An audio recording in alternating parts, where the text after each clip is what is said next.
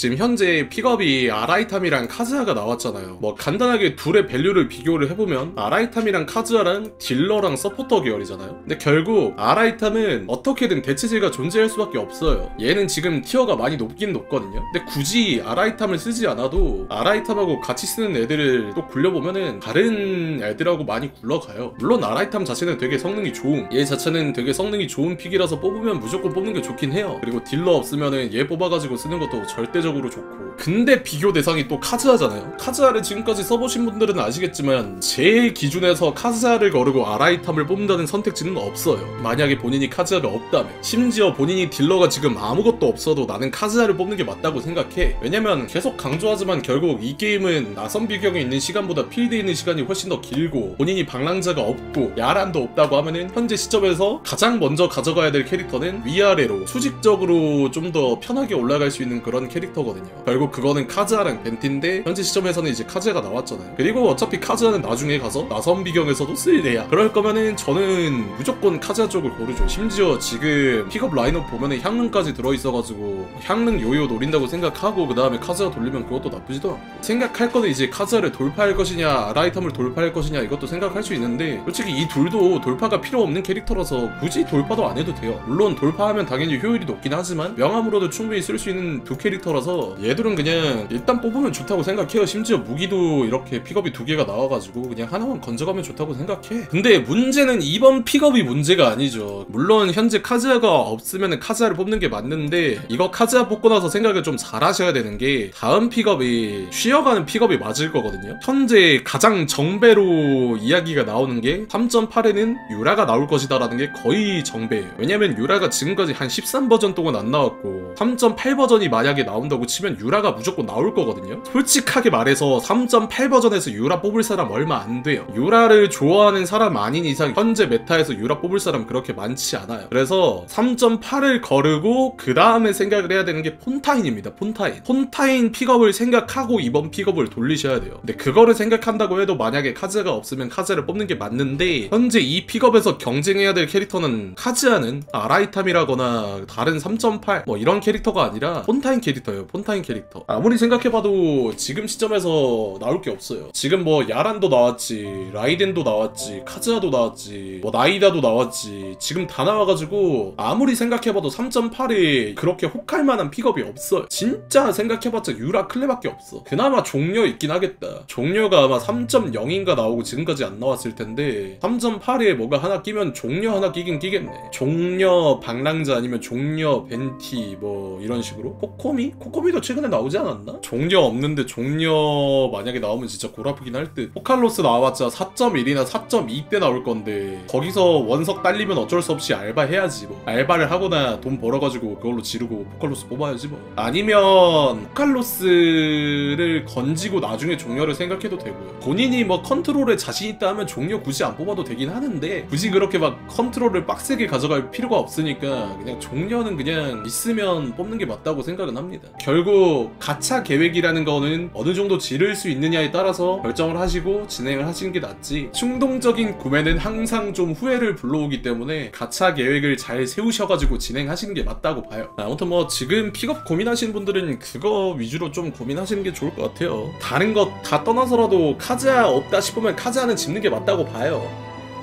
카즈하를 내려깐다는 것 자체가 그냥 나만 카즈하 쓰겠다라는 거를 증명하는 꼴밖에 안 돼요. 카즈하 내려치기 한다? 그럼 앞으로 나올 물 캐릭터, 불 캐릭터, 얼음 캐릭터, 번개 캐릭터 그냥 다 싹 다 내려치기 하는 것밖에 안 돼. 확산이라는 시스템이 존재하는 그 순간부터 카즈하는 내려치기를 당할 수가 없는 캐릭터예요. 지금 딱 보면 알잖아요. 결국 풀파티가 저격이 한번 나와가지고 못 쓰이게 됐을 때 바로 증명을 하잖아요. 카즈하는 내려치기 할 게 없다니까. 카즈하 내려치기 하는 말을 들을 필요가 없어. 저는 솔직히 카즈하 성능적으로 쪽으로 내려깐다. 그건 진짜 real 억가라고 봅니다. 스토리 면에서 까는 건 내가 뭐라고 안해. 풀원소 반응 때문에 카즈하가 내려치기 당한다는 건 알겠는데 평생 풀원소 반응만 쓸 거냐고 차라리 이런 식으로 얘기하면은 그거는 이해할 수 있을 것 같아요. 예를 들어서 현재 뭐 촉발 반응, 만개, 개화 이런 반응에 비해서 카즈하를 쓰는 반응이 value가 조금 밀린다 라고 이런 식으로 얘기하는 거면 모르겠는데 카즈하라는 캐릭터를 하나 잡아가지고 얘가 그 정도인가 라고 말하는 건 좀 아닌 것 같아. 그 정도 캐릭터는 아닌 것 같다라고 얘기하는 것 자체가 나는 그냥 다양한 반응을 안 써봤다는 게 너무 티가 나는 것 같은 그런 느낌밖에 안 들어요. 카즈하 넣으면 게임이 더 쉬워지는데 그냥 카즈하를 빼고 게임할 이유가 있을까? 누가 봐도 카즈하 넣는 거랑 안 넣는 거랑 clear time이 차이가 개 많이 나는데 개화가 너무 다수전 상대로 날먹으로 나와가지고 그래서 카즈하가 필요 없다는 사람들이 너무 많아진 것 같아 카즈하 내려치기는 상상도 못했네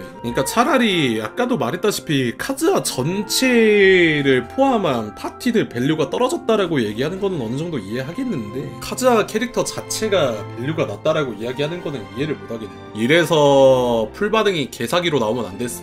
그냥 뭐만 하면 알빠노 개화 뭐만 하면 알빠노 만개 뭐 이러니까 딸깍딸깍 해가지고 그냥 풀 묻히고 물 묻히고 풀 묻히고 물 묻히고 하면 깨버리니까 이거는 뭐 더 말할 가치가 없다. 너무 그냥 무지성 억가인 것 같아서 할 말이 없어. 그냥 풀이랑 안 쓰인다고 카즈하라는 캐릭터 자체를 내려쳐버리는 것 자체가 이게 너무 말이 안 되는 것 같아. 그러니까 내가 말했잖아 이게. 봐봐요. 결국 이게 비호감작이 돼버리니까. 이게 스토리만 까도 모자를 파는 캐릭터 성능까지 이제 깎아내려버리잖아 사람들이 이게 비호감 작이 되면 결국 그렇다니까 이래서 이미지가 중요한 거야 대충 논란. 나이다 쓰면 되는데 카즈아 왜쓴 키키읍. 아이다가 애들 버릇 다 배렸어. 아무튼 뭐 카즈아 내려치기 한다 하는 애들은 그냥 싹 다 무시하시면 됩니다. 예. 그러니까 그게 이야기가 그렇게밖에 이어질 수밖에 없어요. 카즈아 내려치기 한다? 그냥 카즈아 꼴보기가 싫으니까 성능 면에서도 내려치기 작업 들어간다라고밖에 안 보여요. 솔직히 스토리적인 면에서는 얘가 아쉬운 게 맞고 까일만한 게 있다고는 저도 인정을 하거든요. 근데 스토리를 떠나서 성능을 엮어가지고 성능까지 내려치기 한다는 것 자체가 너무 프레임 작업이야. 얘는 성능은 고트야. 아무리 그래도 얘한테서 성능까지 뺏어가면은 어떻게 얘가 유일하게 남은 게 성능인데 풀 반응 때문에 카즈하가 내려치기를 당한다. 이 시점에서 저는 뭔가 잘못됐다고 봅니다. 결국 풀 반응은 풀 반응 위주로 일어나는 거고 확산은 확산 반응으로 일어나는 거고. 카즈하를 어떻게 내려치는데? 대가리가 진짜 깨진 거 아닌 이상 이거는 내려칠 수가 없어 얘는. 아니 카즈하가 애초부터 그렇게 성능이 안 좋았으면 1.6 버전 때 카즈하 맨 처음에 나와가지고 카즈하 걸렀던 사람들이 2.8 버전 때까지 카없찐이라고 그렇게 놀림받지 않았겠지. 1년 동안 놀림을 당하지 않았겠지. 대다수의 사람들이 카즈하 내려치기 한다는 것 자체가 말이 안 된다는 건 아시겠지만 게임을 시작한 지 얼마 안 되는 분들이 정보를 별로 안 찾아보고 그거 진짜로 믿고 카즈하 거르는 사람도 있을 거란 말이야. 그게 문제인 거지. 스토리적인 면에서는 캐릭터가 아쉬울 수 있다고는 생각을 하는데 성능적인 면에서는 저는 얘는 깔 게 없다고 생각합니다. 그냥 카즈아 뽑는 거 고민하시는 분들은 고민하실 필요 없어요. 없으시면 무조건 뽑으세요. 단언할 수 있어요. 얘는 그 정도 캐릭터입니다. 와 근래 들었던 소리 중에서 제일 골 때리는 소리였다